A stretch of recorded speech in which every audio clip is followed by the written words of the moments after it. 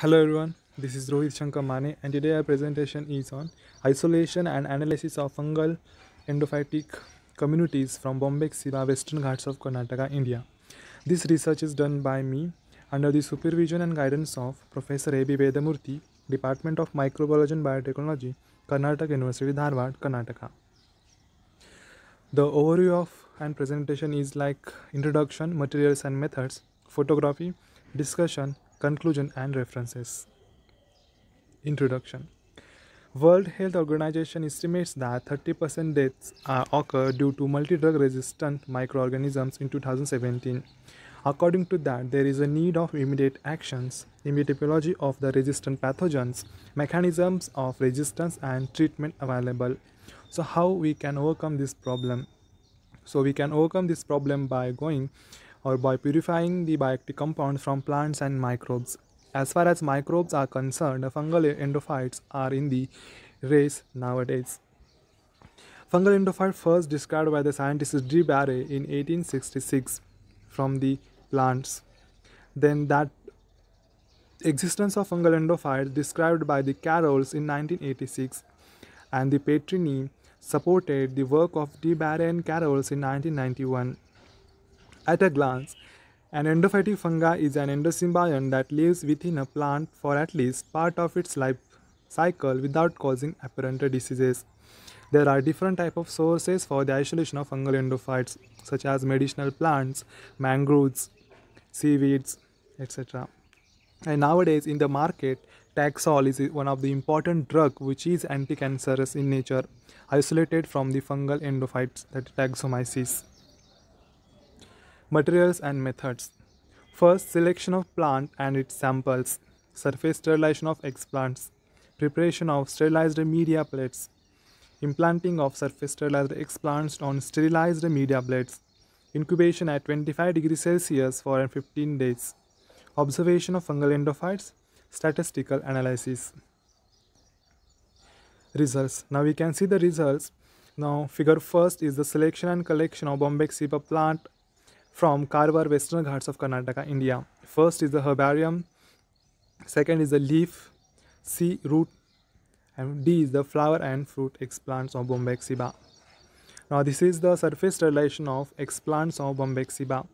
Cutting of samples followed by washing with distilled water 5 5 minutes sterilizing with 70% ethanol 16 seconds, washing with distilled water for 1 minute, sterilizing with 10% sodium hypochlorite for 120 seconds, washing with distilled water for 1 minute, drying of samples under laminar airflow, inoculation on potato agar media. After inoculation, incubation is done. After incubation, the fungal endophytes were isolated on the potato agar media.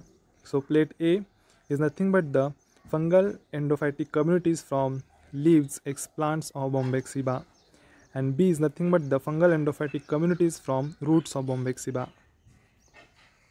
Now this photography is regarding to the endophytic fungi present inside the plant plants, especially in the xylem and phloem.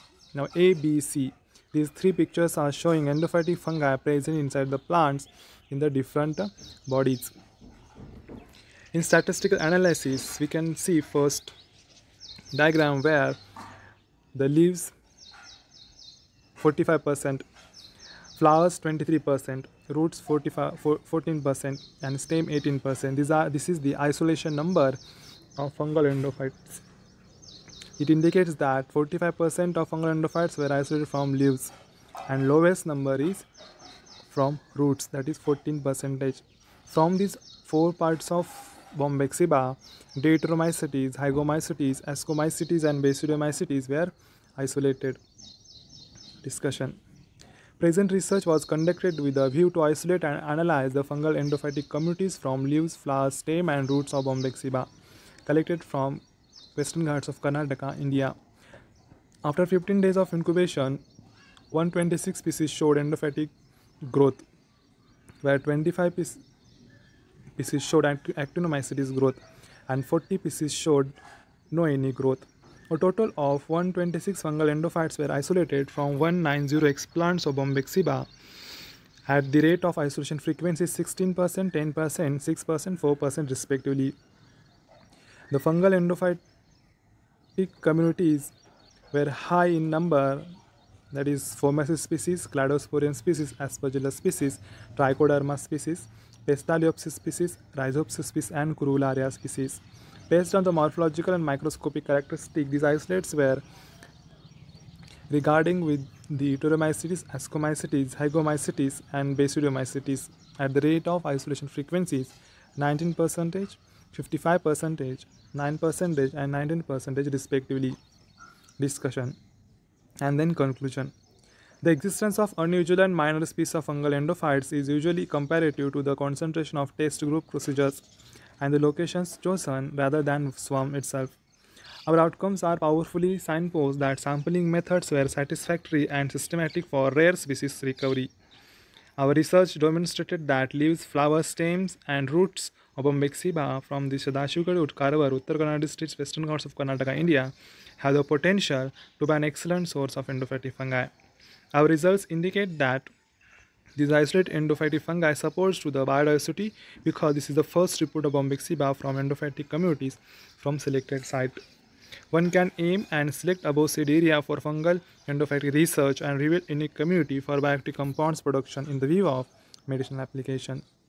These are the some references. If you have any questions, please personally message me or mail me.